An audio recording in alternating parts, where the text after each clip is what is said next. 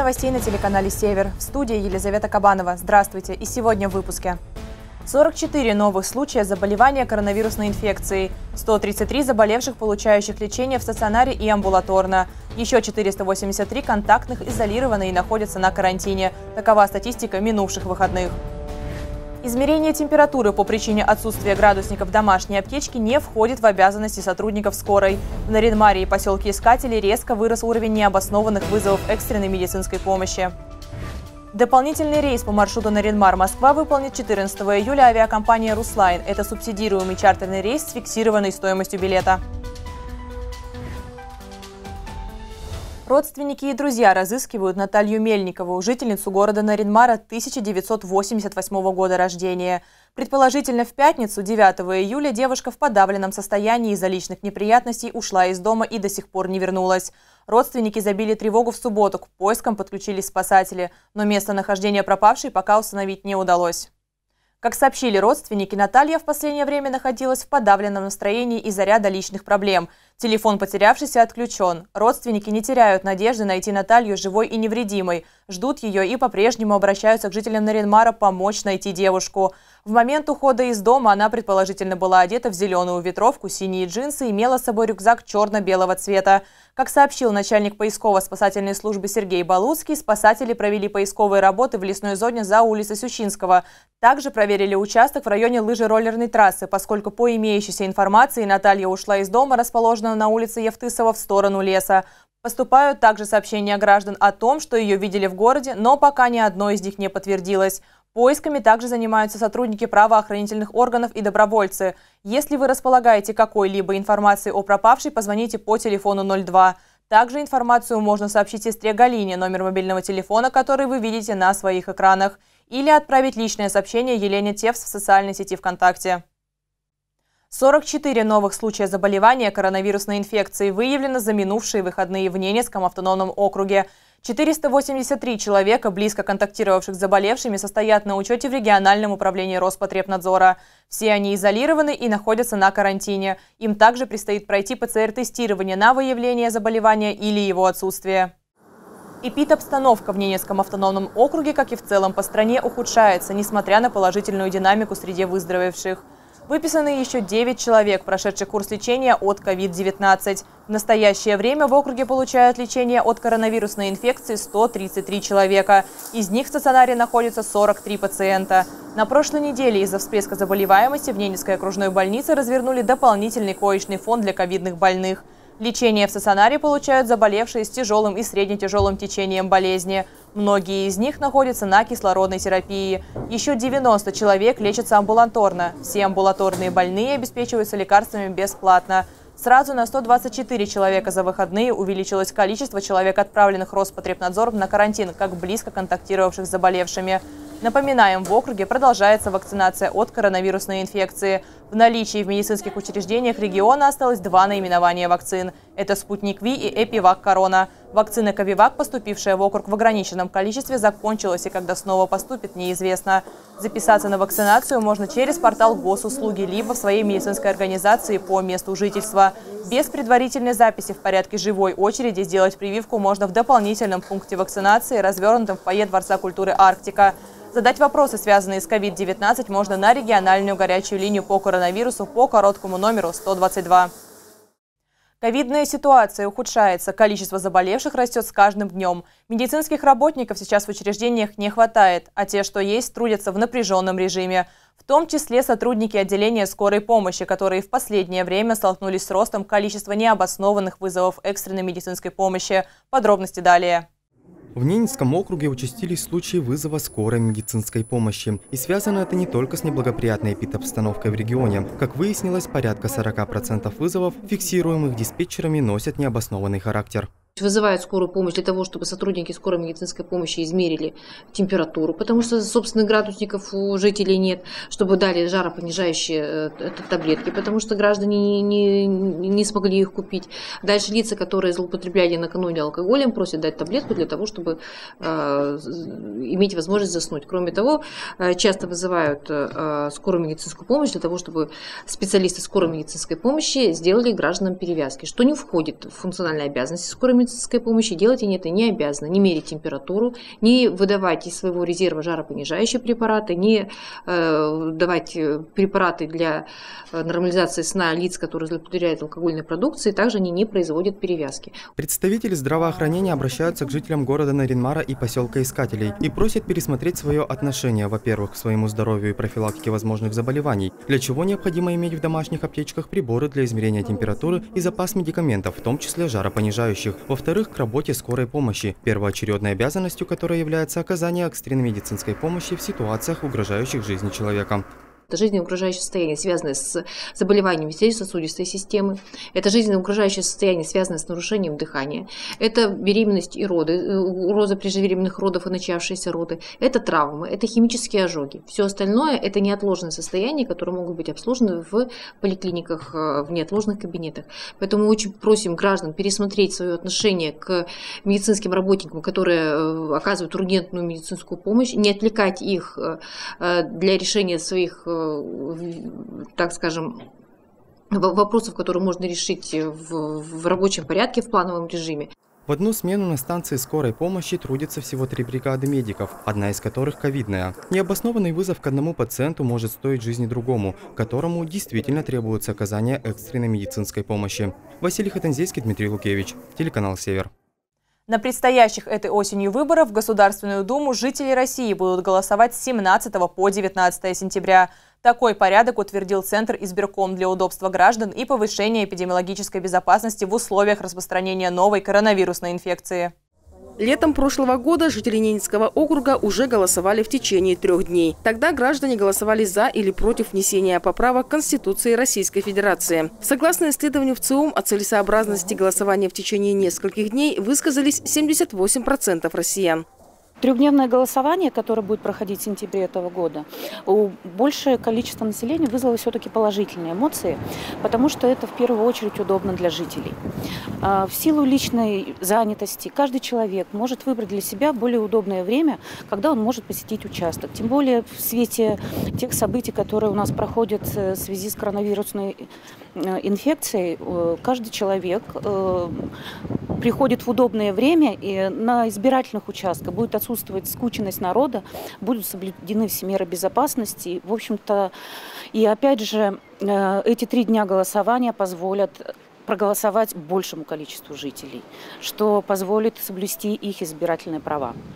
Такой формат голосования позволит гражданам посетить избирательные участки в любое удобное для них время, а также позволит повысить санитарно-эпидемиологическую безопасность в условиях распространения новой коронавирусной инфекции.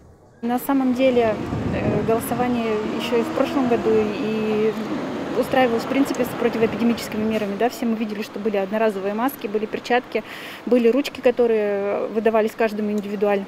Я думаю, что э, то, что голосование будет проходить э, длиной в три дня, это позволит избежать массового скопления народа, что в условиях нынешней эпидемической ситуации, конечно, положительно скажется, э, скажем так, пресечение распространения того же вируса COVID-19.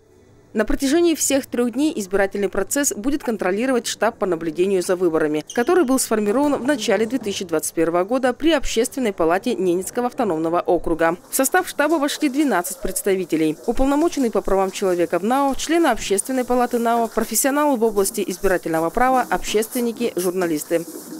Александр Литкова, Антон Выдряков, телеканал «Север». В сентябре, помимо голосования в Государственную Думу Российской Федерации, в Наридмаре состоятся до выбора депутатов городской совет по избирательному округу Портовой. В настоящее время известно о двух претендентах на депутатский мандат. Директор Центра кадастровой оценки Елена Кислякова зарегистрирована территориальной избирательной комиссией Наринмара кандидатом от «Единой России» по одномандатному округу номер 6 Портовой – Ранее она уверенно выиграла партийное предварительное голосование. Ее поддержало более 67% от общего числа проголосовавших избирателей. Ее соперником на довыборах в Горсовет станет Василий Карипанов. Его кандидатуру на дополнительных выборах по избирательному округу Портовый выдвинуло Бюро Комитета Ненецкого окружного отделения КПРФ. Дополнительные выборы депутата Горсовета состоятся в единый день голосования 19 сентября 2021 года. Напомним, мандат депутата одномандатного округа номер 6 Портовой в окружной столице освободился осенью прошлого года, когда Денис Гусев был назначен сенатором от исполнительной власти Ненецкого автономного округа в Совет Федерации. Несмотря на эпидемиологические ограничения, в Ненецком округе в этом году традиционная экологическая акция «Нашим рекам и озерам чистые берега» все же состоится. Она пройдет на открытом воздухе с соблюдением всех мер безопасности. Об этом шла речь на еженедельном совещании главы региона с руководителями органов власти.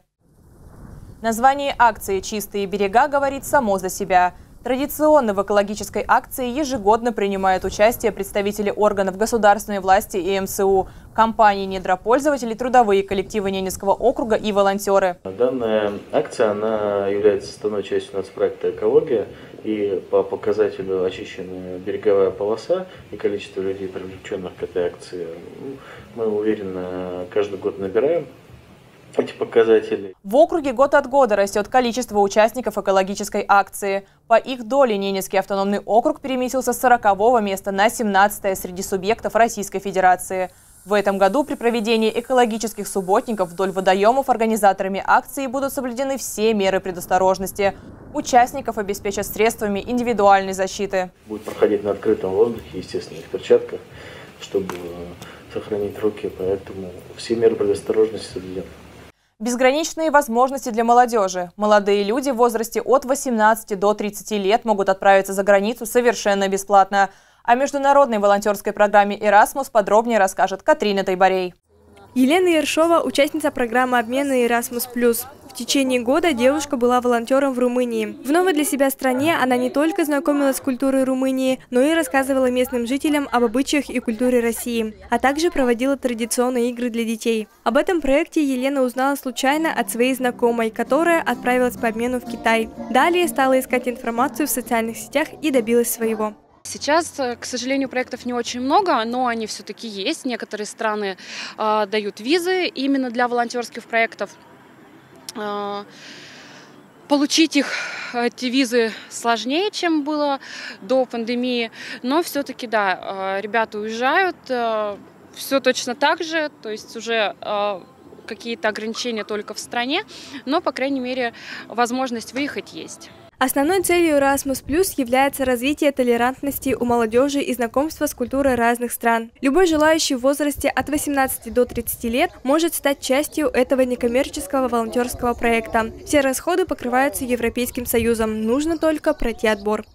Это помощь людям э, стать более толерантными, э, узнать о культуре другой страны, э, помочь каких-то определенных мероприятиях проведения. А, ну, например, я была в Румынии год и а, помогала проводить спортивные мероприятия, просто мероприятия а, для молодежи маленького города. Как рассказала наша героиня, каждый выход из зоны комфорта – это отличный способ проверить себя и свои возможности. Поездки по программам обмена – это опыт общения с людьми различного менталитета, расширение кругозора, разрушение языкового барьера отправляют в такие страны, которые не очень распространены для экскурсионной программы, например. А, это знакомство с новыми людьми абсолютно со всего мира, а, навыки общения с разными людьми, а, как по религиозным признакам, так и в целом по разному менталитету.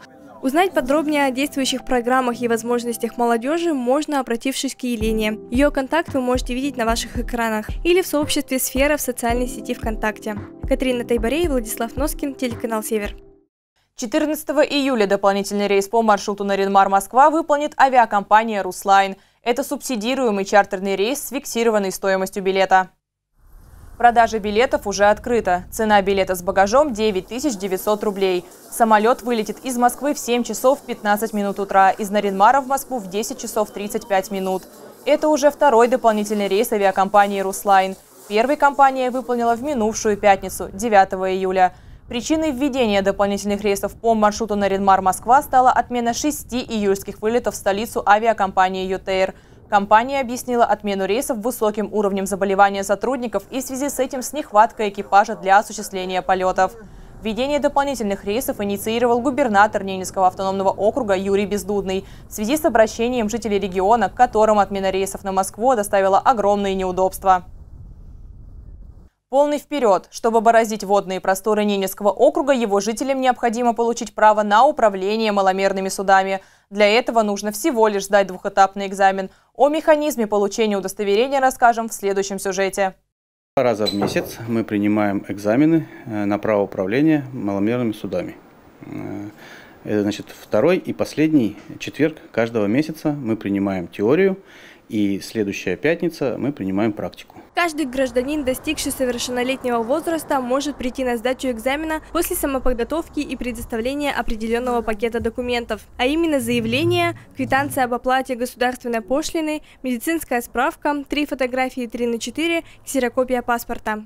После э, проведения аттестации, э, значит, выдается удостоверение на право управления маломерным судном трех типов. Э, или маломерное моторное судно, гидроцикл или судно особой конструкции. К судам особой конструкции относятся суда на воздушной подушке, аэроботы, аэросани, аэролодки. Удостоверение выдается по трем районам плавания – внутренние пути, внутренние водные пути, внутренние морские пути и территориальное море Российской Федерации. В округе действуют три водных объекта. Практическая часть экзамена проходит на Качгартинской курье. Будущим экзаменуемым необходимо правильно выполнить ряд заданий и маневров на маломерном судне под наблюдением инспектора. Э, при проверке практических навыков управления оценивается у сдающего Значит, э, запуск двигателя, отход, подход к причалу, выполнение маневра человека за бортом с имитацией утопающего. Э, значит, в данном случае у нас круг.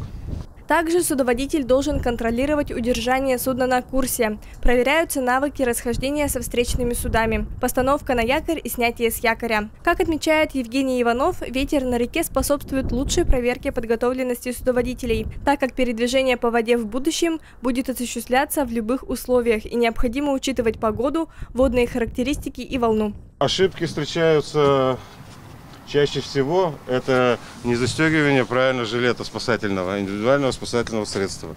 Должен быть застегнут полностью, с паховыми лямками э, на все карабины, на все молнии.